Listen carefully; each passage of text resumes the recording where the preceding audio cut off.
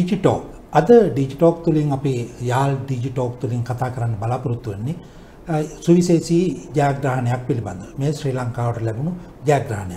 මේ මාතේ තියෙන්නේ දැන්ට ලෝකයේ පවතින ලෝකෙ තිබෙන මෘදුකාංග ශේෂත්‍රයේ නැත්තම් පරිගණක මෘදුකාංග සහ තොරතුරු සංවේදන තාක්ෂණ ශේෂත්‍රයේ විශේෂයෙන් ඩිජිටල් ශේෂත්‍රයේ ලෝක ප්‍රකට සම්මානවලක් තියෙනවා. ඒ සම්මානවලදී ශ්‍රී ලංකාවට සුවිශේෂී සම්මානයක් මේවර ලැබුණා. පසුගියදා මෙක්සිකෝ රාජ්‍යයේ පැවතිච්ච මෙම සම්මානවල මේ නම් කරන්නේ World Summit Award කියලා. මෙය තමයි ඊටාම් වැදගත් මේ ශාස්ත්‍රයේ වැඩ කරන කෙනෙකුට මේ සම්මානය. ඒ වගේම රටක් හැටියටත් මෙම සම්මානය ඊටාම වැදගත් වෙනවා.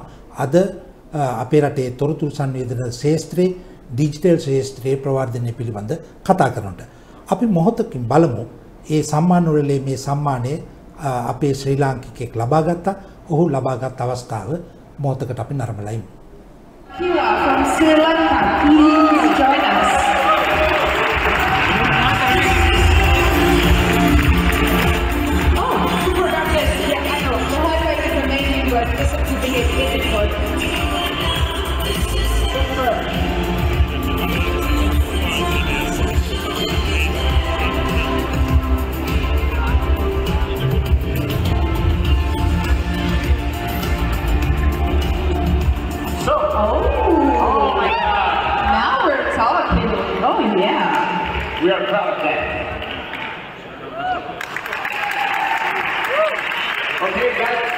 That you have some words.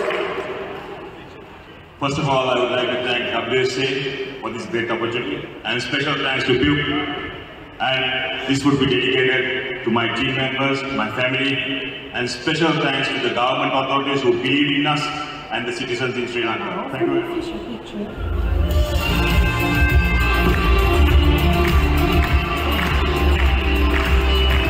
Thank you. ඔව් ඔහු සොහාන් කුලසූරිය. ඔහු මාත් එක්ක ඉන්නවා සොහාන්. යාල් TV වෙනුවෙන් යාල් ඩිජිටෝක් වෙනුවෙන් ඒ වගේම ශ්‍රී ලාංකිකයන් වෙනුවෙන් ඔබට සුවපතනවා ඒ වගේම මේ වැඩසටහනට සාදරයෙන් අපි පිළිගන්නවා. සොහාන් කියන්න බලන්න මොකද්ද මේ අපිට ලංකාවට අන්තර්ජාතික කීර්තියක්? මේ මේ ලෝකයේ තියෙන ප්‍රමුඛතම සම්මානවලක් මට මතකයි ඔබ ලංකාවේදී ඒ ස්වාභිමානී වලදී මේට සම්මාන ලැබුණා. තොරතුරු ආසන්නේදන තාක්ෂණ නියෝජිත ආයතනය සංවිධානය කරන.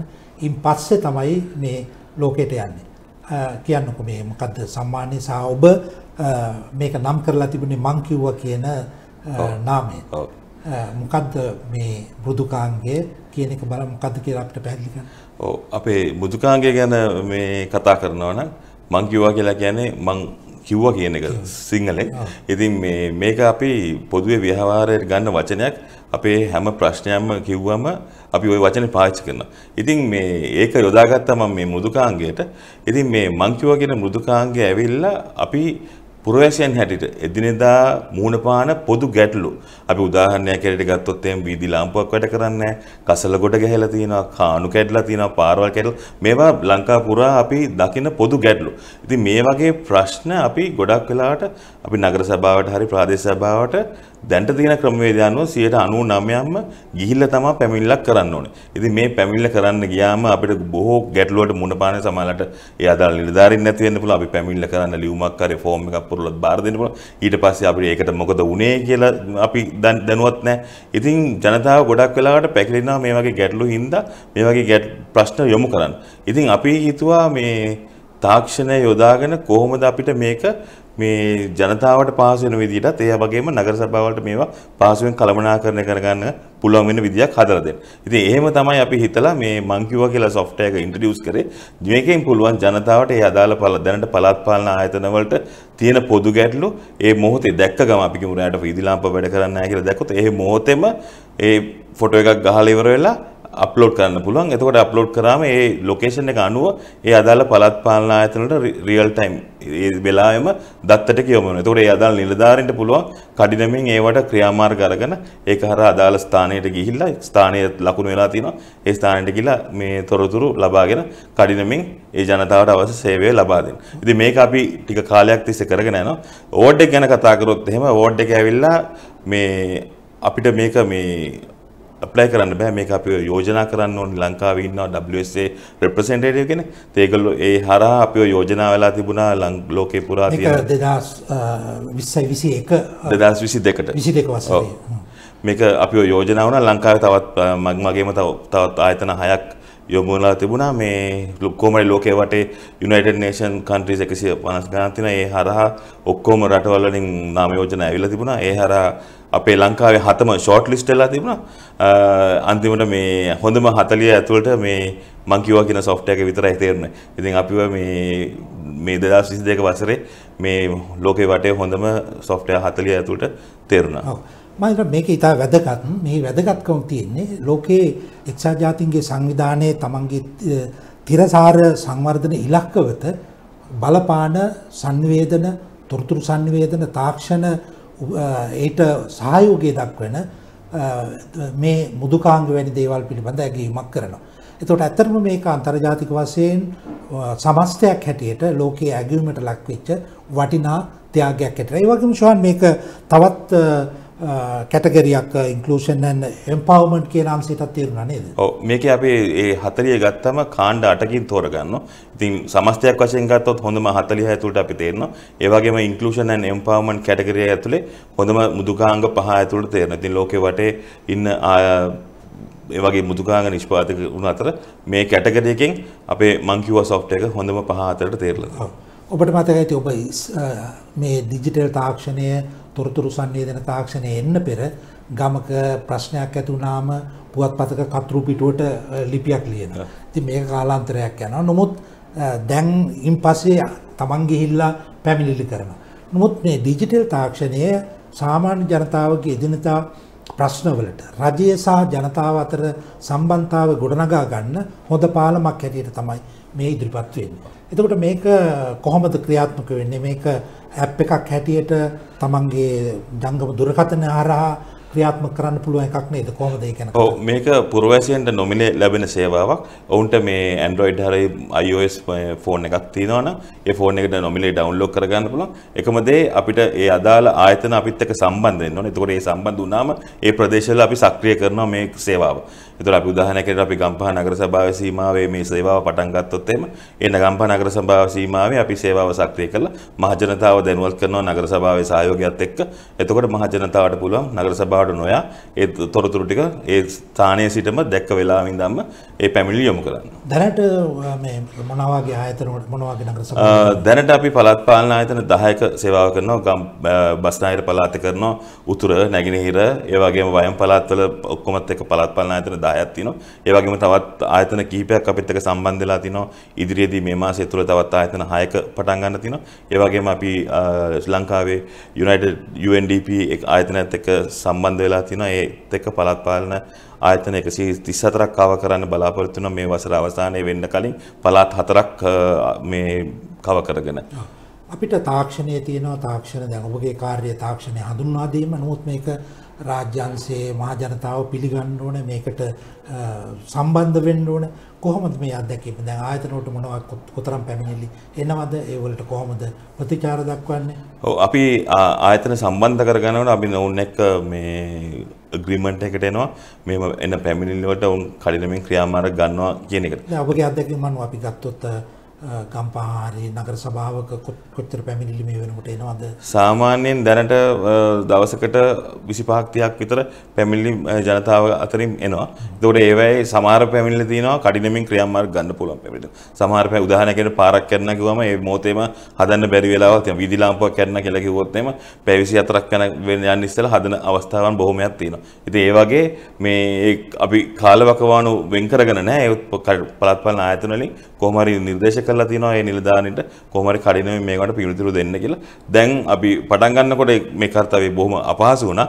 ඒ වුණාට දැන් මේ කාලයත් එක්ක නිලධාරීන් පුරුදු වෙලා කඩිනමින් දැන් සේවාවන් සපයන්න පුරුදු වෙලා තියෙනවා. කොහොමද ඔවුන්ගේ සහාය මේකට ලැබෙන්නේ ඔවුන්ගේ සහය ඇත්තටම දැන් අපි ක්‍රියාත්මක වෙන පළාත් පාලන අතර ඇත්තටම සහාය හොඳයි.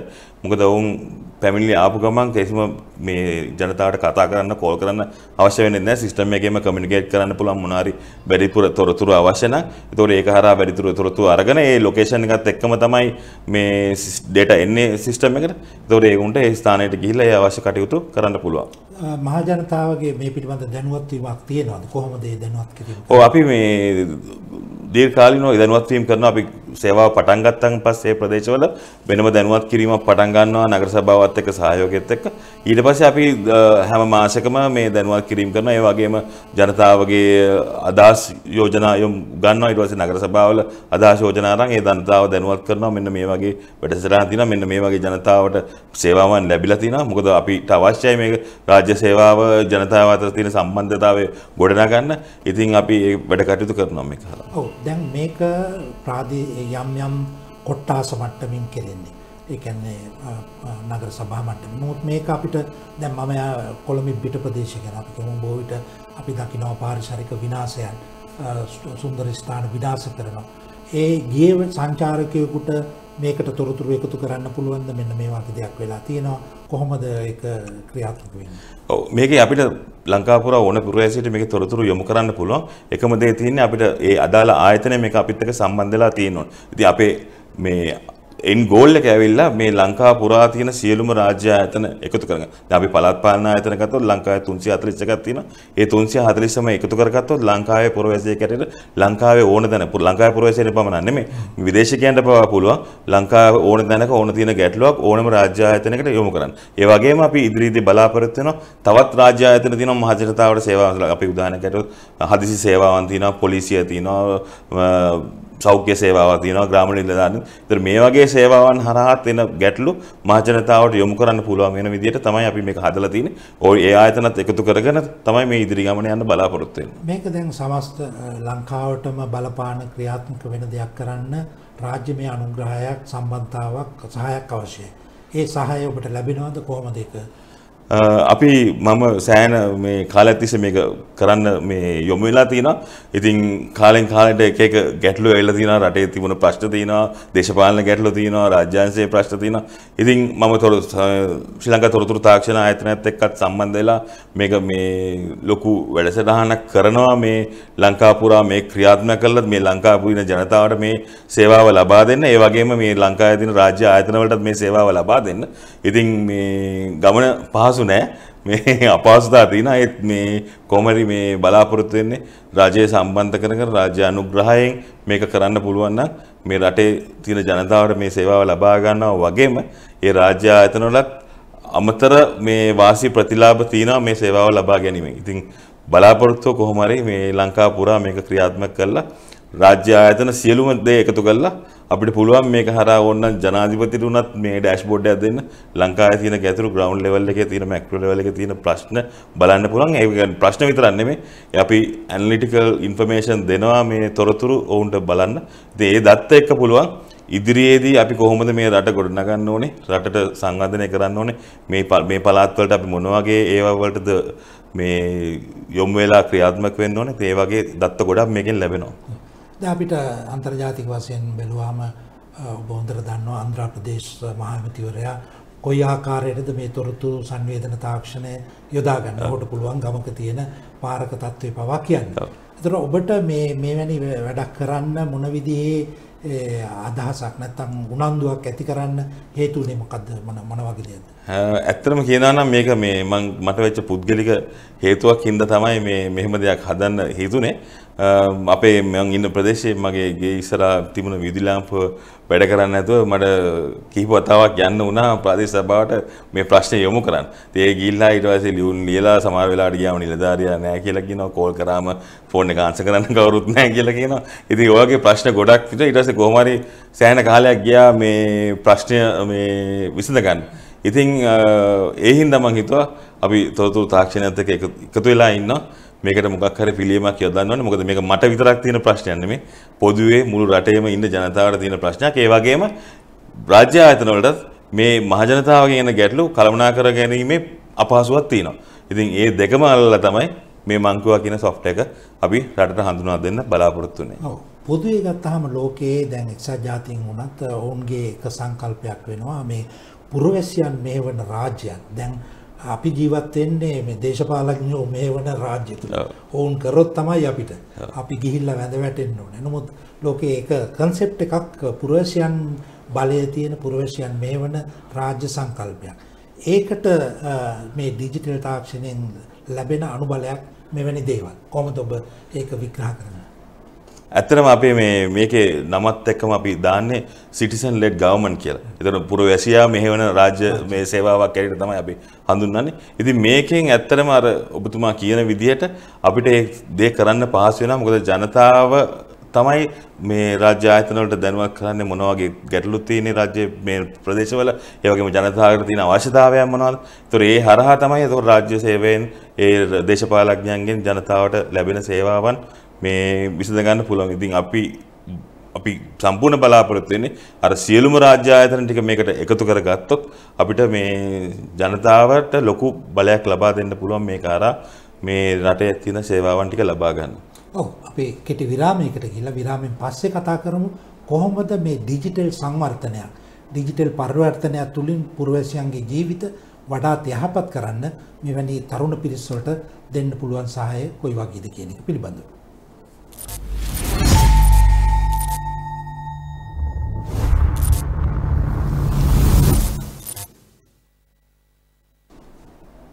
ඔබ මේ සම්බන්ධ සිටින්නේ ඩිජිටෝක් යාල් ඩිජිටෝක් වැඩසටහන සමග අද අප මේ වැඩසටහන සාකච්ඡා කරන්නේ අන්තර්ජාතික වශයෙන් අ, ශ්‍රී ලංකාවට ලැබුණු අ, මෘදුකාංග ශේත්‍රයේ සම්මානය පිළිබඳ ඒ සම්මානය ලබාගත් සුහන් කුලසූරිය අ, තරුණ ඉංජිනේරුවරයා අපි සමග සිටිනවා. ඔහු ටිජනික් පෞද්ගලික අ, සමාගමේ ආරම්භක ඒ වගේම විදායක නිලධාරිය හැටියටත් කටයුතු කරනවා. දැන් අපි කතා කරන්නේ හිටියේ ඔබ ලබාගත් සම්මානය පිළිබඳ. පොදුවේ දැන් ඔබ මේ ශේෂ්ත්‍රයට පිවිසෙන්න මම පෞද්ගලිකව ඔබේ ජීවිතයට අරමු. අ, මෙවැනි ශේෂ්ත්‍රය තෝරා ගන්න අ, මොකද්ද ඔබට බලපාපු හේතුව? ඇත්තරම මේ කිව්වොත් මේ මම මුල්ම අවදියේ තොරතුරු තාක්ෂණයත් එක්ක සම්බන්ධ වෙලා හිටියේ නේ. මම බැංකු නිලධාරියෙක් හැටියට තමයි සේවය කරේ. ඒත් මට සෑහෙන ආශාවක් තිබුණා තොරතුරු තාක්ෂණය. මොකද මට හැමතිස්සෙම මට ගොඩක් වෙලාට මම යොමු වෙන්නේ ගැටලු විසඳන්න පුළුවන් මේ දේවල් වලට තමයි. ඉතින් මම ඒ හරහා ඊට පස්සේ මම බැංකුවේ බැංකු අ, මේකට සමුදීලා ඊට පස්සේ මම මගේ සහෝදරයත් එක්ක ව්‍යාපාර කරන්න පටන් ගත්තා. ඊට පස්සේ මේ ඒ software සම්බන්ධව ඊට පස්සේ මට හිතුණා මේ මේ මං කිව්වා කියන software එක පටන් ගන්න මට තිබුණ ගැටලුවත් එක්ක ඊට පස්සේ මම මගේම ව්‍යාපාරයක් පටන් ගන්න දැන් software development කරන අතරතුර මේ මේ වගේ unique products introduce කරනවා. ඔබට කියන්නේ දැන් මේකට ලබා ගන්න පුළුවන් අධ්‍යාපනය කොයි විදිහට ලබා ගත්තේ මොන වගේ අධ්‍යාපනයක් ලබා ගත්තේ මූලික පසුබිම සකස් කරගත්තේ කොහොමද වටා පිටාව? අ, මේකේ අපි මං වැඩි හරියක් ගත්තොත් මම ව්‍යාපාරය කළමනාකරණය ගැන තමයි මේ ඔව්. ඊට පස්සේ software පිළිබඳ software එක develop කරන්න මං concept එක මේ build කරා. ඊට පස්සේ මං team එකක් හදාගෙන ඉවරලා team එක හර- හරහා තමයි අපි software එක develop කරේ. ඔව්. වෙනත් මොන වගේ දේවල්ද ඔබගේ ව්‍යාපාරංශ ව්‍යාපාරය විසින් කරන්නේ? අ, අපි පරිගණන මුදුගා කරනවා. මේ වගේම ම- පෞද්ගලික අංශවලටත් අ, තියෙන softwares තියෙනවා අපි පෞද්ගලික අංශවල නඩත්තු කටයුතු මේන්ටෙනන්ස් කටයුතු ඒ වගේම අ, ශ්‍රම බලකාය තියෙන ගැටලු ඔවුන් අදාළ මැනේජ්මන්ට් එකට රිපෝට් කරන්න. ඒ වගේ ඒ කළමනාකරන software solutions අපි ගාව තියෙනවා. තව අපි school management solutions ඒ වගේ මේ softwares කිහිපයක් කරනවා ලංකාවේ ලංකාවේ පිටට. මොන වගේ ඉල්ලුමක්ද තියෙන්නේ මේ මුදුකාංග වලට ලංකාවේ ඇතුළත ගත්තොත් මොන වගේ ශේෂ්ත්‍රවලද ඉල්ලුම? ඇත්තරම මේ ඉල්ලුම හොඳයි මේ දැන් ලංකාව මේ ඩිජිටල් වෙමින් පයනවා කොවිඩ් එකත් එක්ක මේ කොවිඩ් ආවත් පස්සේ ගොඩක් ආයතන මේ ගොඩක් උනන්දුව වැඩි වුණා. ඉතින් දැන් ප්‍රවණතාවයක් තියෙනවා හැමදේම ඩිජිටල් කරන්න. ඉතින් ලොකු ගමනක් යන්න පුළුවන් මේ ඩිජිටල් ශේෂ්ත්‍රය හරහා ලංකාවේ තියෙන ආයතනත්. ඔව් දැන් අපි අ, අවසාන වශයෙන් ඩිජිටල් කරණයක පරිවර්තනයක ප්‍රතිඵලය මහ ජනතාවට ලැබෙන්න ඕනේ. දැන් ඔබ ඊටාම මහ ජනතාවට වඩාත් ගැළපෙන සහ අ, ඔවුන්ට ප්‍රයෝජනවත් වෙන දෙයක්. මේක කොහොමද ඔබ අන්තර්ජාතික අ, අගයීමට ලක් වෙනකොට ඔවුන් අතර කොහොමද මේක සාකච්ඡා කරේ ඔබ අගයීමට ලක් කරේ මොන විදිහටද? මේක අර අපි යෝජනා වුණාට පස්සේ අප- ඒ තියෙන කාණ්ඩ වලින් ඔවුන් මේ තෝරගන්නවා මේ හොඳම ඒ කියන්නේ ඉම්පැක්ට් එක වැඩිම මො- කොහොමද මේ මේ software solutions වලින් ඉම්පැක්ට් එක වැඩිම මේ solutions තමයි ඔවුන් තෝරගන්නේ. ඉතින් ඒ හරහා අර application ලොකු බල ප්‍රමාණයක් ඇවිලා තිබුණා. එයින් ෂෝට් ලිස්ට් වෙලා තිබුණා 134කට අපිව. ඊට පස්සේ ඒත් 134 අපිත් එක්ක සම් යොමු වෙච්ච අනිත් ලංකාවේ මුදුකාංග ඉතුරු හයක් තිබුණා.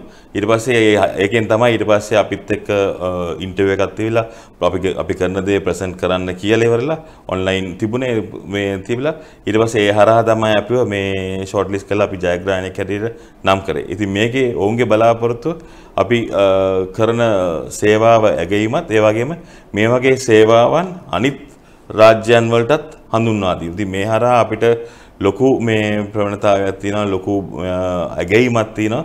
තවත් රටවල් වලටත් අපිට මේ දේවල් ඉන්ට්‍රොඩියුස් කිරීමේ හැකියාව තියෙනවා. දැන් මේ මෘදුකාංගයේ වෙනත් රටවලට වෙනත් කෙනෙක් ඉල්ලුවොත් දෙන්න පුළුවන්. ඒ වගේ ඉල්ලුමක් තිබුණාද? ඔව් ඔව්. අපි මේ ඇත්තටම අපිට කතා කරන්නත් හැකියාව ලැබුණා වෙනත් රාජ්‍ය ආයතනත් එක්ක. ඉතින් ඒ වගේ අපිට මේ පුළුවන් මේ ගොඩක් අ, ර- රටවල් වලට මේ දේ ඉන්ට්‍රොඩියුස් කරන්න. දැන් මේ තරංකාරී අ, අවස්ථාවක් වෙන වෙනත් රාජ්‍ය වෙනත් රටවල ඔබ වගේ තරුණයෝ මොන වගේ සොලියුෂන්ද මේවද ඉදිරිපත් කරලා තිබුණේ? සොලූෂන්ස් තියෙනවා. අපි ගත්තොත් එහෙම සෞඛ්‍යංශයට තියෙන ඒවා තියෙනවා. ඊ-කොමර්ස් පැත්තෙන් තියෙනවා අධ්‍යාපනය පැත්තෙන් තියෙනවා. ඒ වගේ ගොඩාක් මේ සොලූෂන්ස් තියෙනවා. මේ යුනික් ඒවා. මේ කියන්නේ ගොඩක් වෙලාට මේ කවුරුත් කරන්නේ නැති සොලූෂන්ස් තමයි මේ ඉදිරිපත් වෙලා තිබුණේ ජයග්‍රහණය කළා තිබේ මොකද ඒවා කරන්න හරි අපහසුයි. ඒකයි ගොඩක් කට්ටිය කරන්නේ නැත්තේ. ඉතින් ඒ අධ්‍යාපන ශාස්ත්‍රයේ සෞඛ්‍ය ශාස්ත්‍රයේ ඒ වගේ ගමන ගමන ඒ කියන්නේ e-citizen ශාස්ත්‍රයේ government services වල ඒ වගේ ගොඩක් ශාස්ත්‍රවල මේ යුනික් සොලූෂන්ස් තිබුණා. ඉතින් ඒගොල්ලෝ තමයි ජයග්‍රහණය කරේ.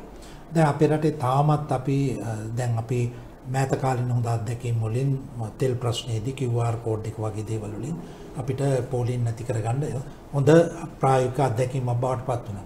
නමුත් අපි තාමත් පාරේ රස්තිය අඩු වෙනවා බස් වලට. තාමත් අපි දන්නේ නැහැ බස් එකක් එනවද නැද්ද කියලා. අ, අපි අපිට බස් එකක් එනකම්ම තමයි අපිට ඒ වගේ ප්‍රායෝගික එදිනදා ජීවිතයට බලපාන දේවල් කෙරෙහි අ, මට පෞද්ගලික හිතෙනවා රාජ්‍ය මට්ටමින් වගේ දක්වන සැලකිල්ල මදි කියලා. මොකද ඔබ හිතන්නේ මොකක්ද ඒක? මම දන්න විදිහට ඔය ඔය වගේ ප්‍රශ්න වලට ම්, ලංකාවේ ඉන්න පරිගණක මුදුකාංග නිර්මාණකරුවන් මුදුකාංග ඉදිරිපත් කළා තියෙනවා. ඒ වුණාට ඒකට තියෙන පිළිගැනීමයි අනුග්‍රහයයි ප්‍රමාණවත් මදි කියලා හිතනවා මට මේ මේවා ඉම්ප්ලිමන්ට් කරන්න. මොකද මම හිතන්නේ මේ අනිවාර්යෙන් ওই වගේ සේවාවන් ඉන්ට්‍රොඩියුස් කරනකොට රාජ්‍යානුගාරය අනිවාර්යෙන් අවශ්‍යයි. අපි කරනවා වගේම අනිත් ඒවාට දැන් ඔය බස් සේවාවට තවත් ගොඩක් සේවාවලට රාජ්‍යානුග්‍රහය අනිවාර්යෙන් අවශ්‍යයි. ඉතින් ඒක ප්‍රමාණවත් මදි කියලා මට නම් හිතෙනවා මේ මොකද එහෙම කරන්න පුළුවන් නම් අපිට සෑහෙන තමුන්ගේ එදිනදා ජීවිතේ වැඩ කටයුතු කරගන්න හරිම පහසු වෙනවා. දැන් අ, පොදු ජනතාවගේ නැඹුරුවක් තියෙනවා. දැන් කාලයකට ඉස්සරදී මේ දේවල් වලට ඒ තරම් යොමු වෙන්න අ, අ, බයක් සහ සැකයක් තිබුණා. නමුත් දැන් බැංකු කටයුතු ඔන්ලයින් වැඩ එදිනෙදා තමන්ගේ රාජ්‍ය සමග කරන ගනුදෙනු පෞද්ගලිකාංශේ හුඟක් දේවල් වලට දැන් මේ තමන්ගේ මොබයිල් ෆෝන් එකෙන් කටයුතු කරන්න ජනතාව හුඟක් මේ අවස්ථාව ප්‍රයෝජනයට අරගෙන තවදුරටත් ඉදිරියට යන්න ඔබ මොන වගේ දේවල් ඉදිරියේ කරන්න බලාපොරොත්තු? ඇත්තරම මේ අපි බලාපොරොත්තු වෙන මේ පළාත් පාලන ආයතන ටික එකතු කරගෙන මහජනතාවගේ ගැටලු නිරාකර ගැනීම පහසු ක්‍රමවේදය හදනවා වගේම ඉතුරු රාජ්‍ය ආයතන ටිකත් මේකට ගෙනල්ලා අ, මගේ බලාපොරොත්තු වෙන්නේ මහජනතාවට රාජ්‍ය සේවාවන් හරහා. රාජ්‍ය සේවාවන් ඩිජිටල් කරණය කිරීමේ වැඩ කටයුතු තමයි මේ ප්ලැට්ෆෝම් එක හරහා අපි ගේන්න බලද්දී. මොකද ඒකට කර්තව්‍ය බොහොම අපහසුයි. ඒ වුණාට මේ ජනතාවට දැන් මේකට චුට්ට චුට්ට නැඹුරු වෙන හින්දා හැමෝම අතේ ස්මාර්ට් ෆෝන් එකක් තියෙනවා.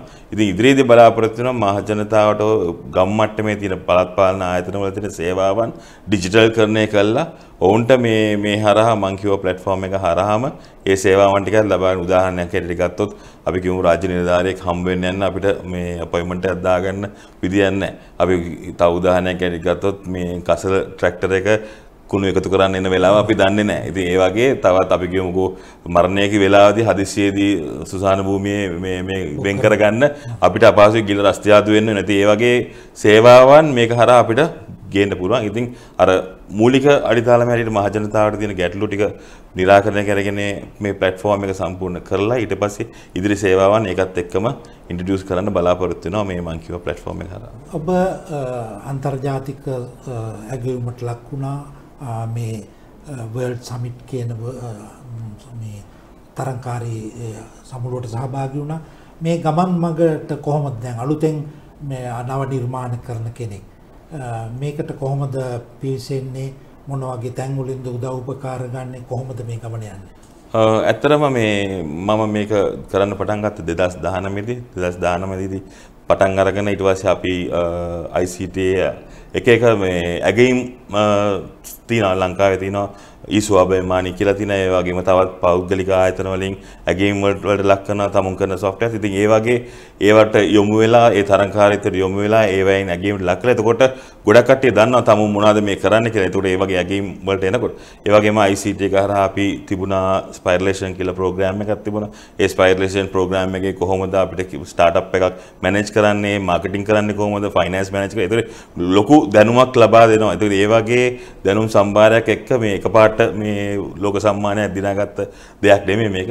යම්කිසි කාලයක් තිස්සේ මේක ඒ තමුන් කරන දේ හරියට මේ ඒ ආයතන වලත් එක්ක වැඩ කරලා සොෆ්ට්වෙයාර් එක ඉන්ට්‍රොඩියුස් කරලා ඒ වගේම අර වගේ රෙකග්නිෂන් කීපයක් අරගෙන ඉවරලා තමයි මේ අපි අන්තර්ජාතික මට්ටමට යන්න පුළුවන් වෙන විදිහට මේ ජයග්‍රහණය කරේ. ඉතින් හැමෝටම මං කියන්නේ මේ තමුන් දි කරන දේ හරියට කරන්න මේ ඒ වගේම මේ අර අවශ්‍ය ආයතන වලින් සහයෝගය ලබා ගන්න. තොරතුරු තාක්ෂණ ආයතනයෙන් සෑහෙන සහයෝගයක් ලබා ගත්ත හැකි තමුන් ටෙක්නොලොජි සොෆ්ට් කම්පැනි එකක් නම්. දැන් ඔබ ස්වාන් තාම බොහොම බොහොම තරුණ වයසේ ඉන්න කෙනෙක්. ඉතින් මේ ශේත්‍රයට ප්‍රවේශ වෙන්න මේ බලාගෙන ඉන්න අයට ඔබට තවත් යමක් කියන්න තියෙනවා. දැන් ඔබ බය නැතුව ඔබගේ බැංකු රැකියාව අයින් කරලා ඔබ මේ පැත්තට යොමු වෙලා ඔබම දැන් ව්‍යාපාරයක් කරන කෙනෙක් බවට පත් වෙලා ඉන්න. ඔබ මේකට පිවිසෙන්න බලාපොරොත්තු වෙන කෙනෙකුට ඔබගේ අත්දැකීම් එක්ක මොනවද කියන්න තියෙන්නේ? අ, ව්‍යාපාර කරනවා කියන එක පහසු දෙයක් නෙමෙයි. අර අපි හිතලා මම මේ බිස්නස් එකක් කරනවා කියලා ඇවිල්ලා බිස්නස් එක කරන්න පුළුවන්. හැබැයි පවත්වගෙන යන්න අපහසුයි. ඉතින් මම කියන්නේ මේ හොඳට හිතලා බලන්න ව්‍යාපාරයකට කරන්න. ව්‍යාපාරයකට යොමු වෙන්න කලින් ඊට පස්සේ තම මොකද්ද කරන්න හදන්නේ කියන එකට කල්පනා කරන්න. ඊට පස්සේ ඒ දේ කරන දේ හරියට කරන්න. කරන දේ හරියට කරොත් මේ ප්‍රශ්නයක් ගැටලුවක් වෙන්නේ ඒ වගේම අර ත- හැමතිස්සෙම කරන්න කල්පනා කරන්න අර තමුන් පැෂනේට් දෙයක්. එතකොට මේ කවදාවත් තමුන්ට එපා වෙන්නේ ඒකට අවශ්‍ය පසුබිම ලංකාවේ තියෙනවද? ලංකාවේ මාකට් එකක් තියෙනවද? ඔපිචුනිටි එකක් තියෙනවද? මොකක්ද කියන්නේ? ඔව් ලංකාවේ තියෙන ඇත්තටම මාකට් එකක් තියෙනවා. ප්‍රයිවට් සෙක්ටර් එකේ ලොකු ඔපචුනිටිස් තියෙනවා. මේ ඒ වගේම ගවර්න්මන්ට් සෙක්ටර් එකටත් තියෙනවා. මේ අපි මොකද ගොඩක් තාක්ෂණය අපි පාවිච්චි කරන්නේ තමුන්ට එදිනෙදා තියෙන ප්‍රශ්න ටික විසඳ ගන්න. ඉතින් ඒ ලංකාවේ හරි ඕන තැනක බැලුවොත් එම් ප්‍රශ්න ඕන තරම් තියෙනවා අපිට පාසුවෙන් කරගන්න බැරි. ඉතින් ඒවට සොලියුෂන්ස් ඕන කෙනෙකුට නිර්මාණය කරන්න පුළුවන්. ඉතින් මම කියන්නේ ලංකාවේ ඔපචුනිටිස් නැහැ කියලා. ගොඩක් වෙලාට කට්ටිය බනිනවා මේ මේ ලංකාවේ හරියන්නේ නැහැ කියලා. ඒ වුණාට මම කියන්නේ ලංකාවේ ඕන තරම් ඔපචුනිටිස් තියෙනවා. තමුන් හරියට ක්‍රියාත්මක වෙනවා නම්. ශාන් බොහොම ස්තුතියි ඔබට සුබ පතනවා අ, මේ වගේ තවත් අ, නව නිර්මාණ අ, ලංකාවේ ඩිජිටල් පරිවර්තනයක් සඳහා මිනිසුන්ගේ ජීවිත යහපත් කරන්න පහසු කරන්න අ, සමාජයට ඉදිරිපත් කරන්නට ඔබට හැකියාව ලැබුවා කියලා ප්‍රාර්ථනා කරනවා. බොහොම ස්තුතියි ඩිජිටෝක් සමග එකතු වුණාට. අ, බොහොමත් ස්තුතියි ආරාධනා කරලා ඩිජිටල් සමග. ආයිබෝන්.